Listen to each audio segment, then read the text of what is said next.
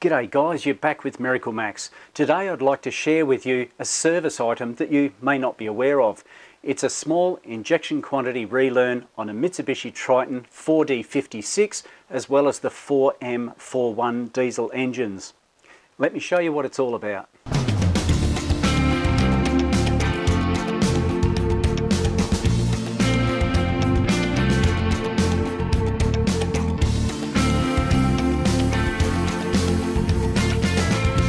So I've just completed valve clearances on this 2013 4D56 Mitsubishi Triton.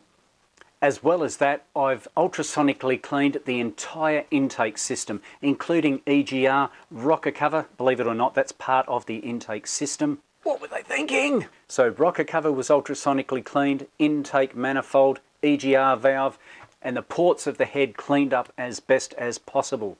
Now that I've done all those major service items, it's time to do this injector small quantity relearn.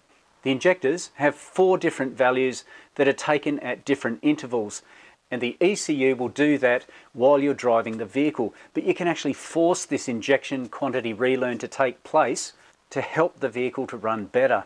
And that should be done regularly as a service item. In actual fact, it's written in the manufacturer's service manual. So it should be part of your service, guys. Let me show you how it's done. At the moment, after all that horrible carbon being cleaned out of the intake system, believe it or not, this is actually a little harder to start than it was before, and it's idling a little rougher too. Check it out. Glow plug on.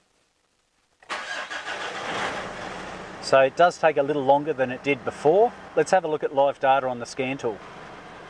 So in live data, you can see small quantity pressure number one or the first time that it assesses it, cylinder number one, number two, etc. We'll scroll over and you can see there's a whole range listed here and it goes on and on. In actual fact, I was wrong. It assesses it five times for each cylinder, not just four as I thought. But have a look at them. They get less and less, the changes are less and less each time. We have some negative values here, we have some positive values here, and as you go back to the first adjustment or the first inspection or the first interval that it does its check, they are quite large in comparison. So let's take it for a road test and I'll show you how we do this quantity relearn. I'm still out my road test. I've taken it for about eh, 10 Ks I suppose to get it up to temperature and to make sure everything's running okay after all the work that I've done. I'll show you now what we need to do for our relearn. So we need to go into special functions here. We need to go into learning. And as you can see over the side here, F1 is small injection quantity relearn. That's the fellow that we're after. So we press F1 down the bottom here, or we can just hit that button there. There are quite a few conditions to carry out this injection relearn, so we need to make sure that we've done them all properly. Okay, so what we've got here is the items and the current value that they are doing. Now, I'll be honest with you, quite often these won't carry out a relearn during the road test, but as soon as I get back to the workshop, for some reason, they carry it out. We'll see how we go now.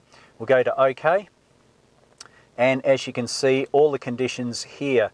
Now, I know that I have my coolant up to temperature, fuel temperature, baro, uh, auto trans fluid, uh, air conditioning, and lights are turned off. The transmission is in park and the steering is in the straight ahead position. Let's see if it's going to do it for us or if we have to wait till we get back to the workshop. Let's hit OK. And typically it says error, execution condition is not corrected. So we'll give it another couple of shots, but generally speaking, it won't do it.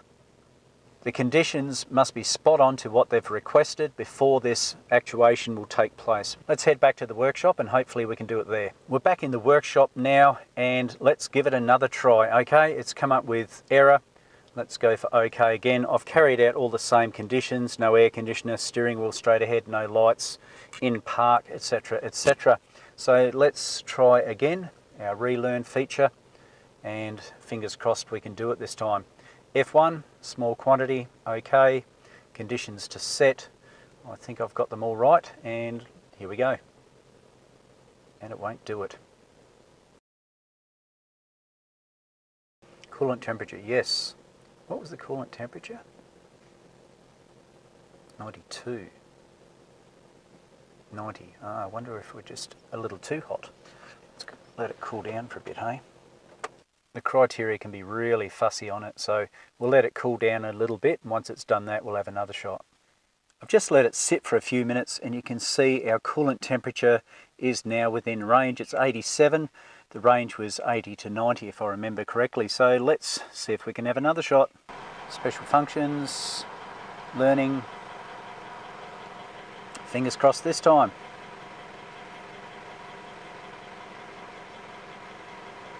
Executing, brilliant. Okay, let's see what it does. And if you listen carefully, you'll be able to hear the revs go up and down as the learning process takes place. It's now in progress, as you can see. And let's have a look down the bottom here. We're looking at number two at the moment. That's what's being done.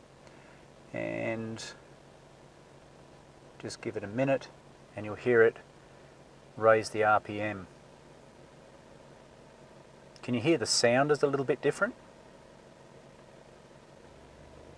Hear that? We're now doing number three, cylinder number two, so the third step. And we're changing the fuel pressure uh, as well.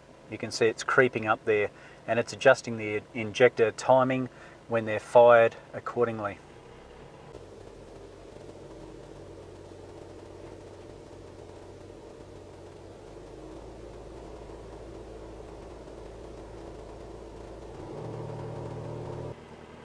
When you first hear this, it sounds kind of weird and you think something's wrong, but it's all part of the process, all part of the learning process.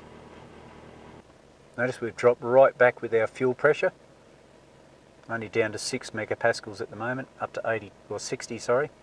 Now we're up to 82, to 90, and we're seeing how the injectors respond and they're adjusting when they fire the injectors accordingly. So keep in mind this isn't me doing anything, up to 1200 RPM at the moment. It's gone back to number one to examine it. And as you can see, it raises the idle to compensate for the extra pressure coming through. And there we have, completed. So I can confidently give the vehicle back to the customer knowing that I've done everything according to the manufacturer's requirements. And I've even noticed that it starts a lot quicker. Check it out. It was a lot quicker than it was before. Although it took a little while to get the criteria just right, we finally got that small injection quantity relearn done. This is a crucial part of servicing the Mitsubishi Triton with the 4D56 as well as the 4M14 in it. Guys, I hope you enjoyed the video today, gave you a little bit of insight into the Mitsubishi Triton relearn process on the injectors. If you did enjoy this video and you haven't already, please subscribe to the channel, give it a like and feel free to comment down below. Don't forget about that notification bell. You don't want to miss any future videos, do you? So guys, this is Miracle Max signing off. I will catch you later.